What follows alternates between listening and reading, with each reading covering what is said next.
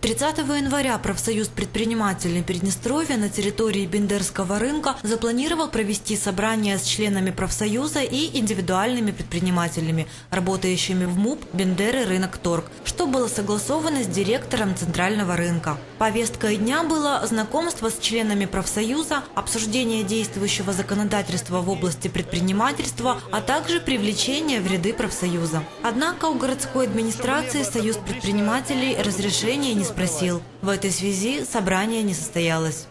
буква закона является выше, чем распоряжение главы госадминистрации.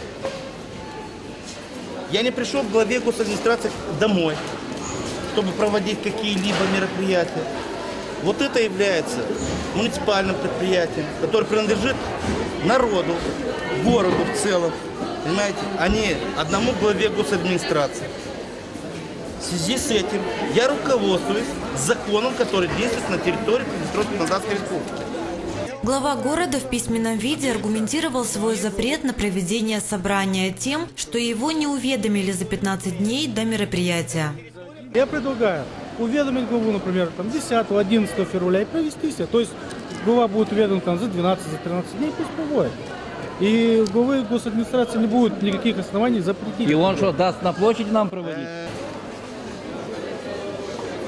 Я считаю, что глава госадминистрации в данном случае не соблюдает нормы действующего законодательства. Сошлитесь, пожалуйста, на статью закона, которую он нарушает.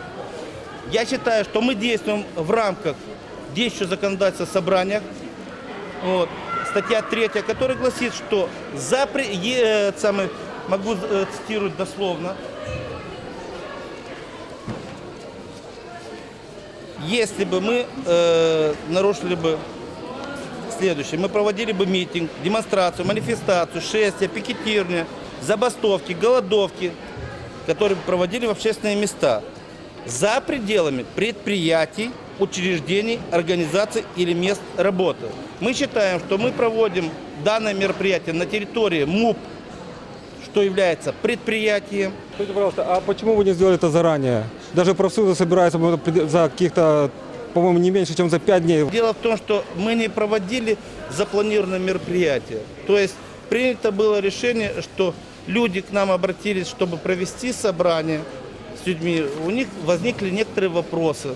Мы пришли узнать их жизнь, как они живут, как они трудятся, какие у них жалобы, чаяния, понимаете? Платят налоги, а целую неделю снег не убирается. Заваленный оптовый Петр базар, Георгиевич. заваленный этот базар. И сейчас узнали, что этот человек заботится о предпринимателей, начали вывозить сегодня снег. Понимаете? Петр И Георгиевич. поэтому директор 29-го Петр поставил э, Петр подпись, Георгиевич. а сейчас отказывается. Петр Георгиевич, воздержитесь. от- Кому эта игра нужна? Мы Последующие действия какие будут? будем обжаловать. Каким образом? Обратимся в суд. Считаем, что э, глава госадминистрации города Бендер нарушил действующее законодательство.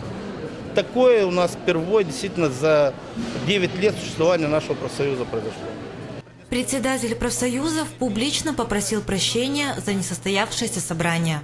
Уважаемые коллеги, уважаемые предприниматели, те, кого пригласили сегодня на собрание, и вы пришли, собрание не состоялось, я приношу перед вами извинения за то, что нам, главой госадминистрации, своим распоряжением было запрещено провести э, данное мероприятие.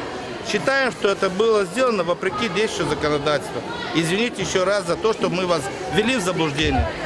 Редакция Днестр ТВ будет следить за развитием событий вокруг Бендерского продуктового рынка.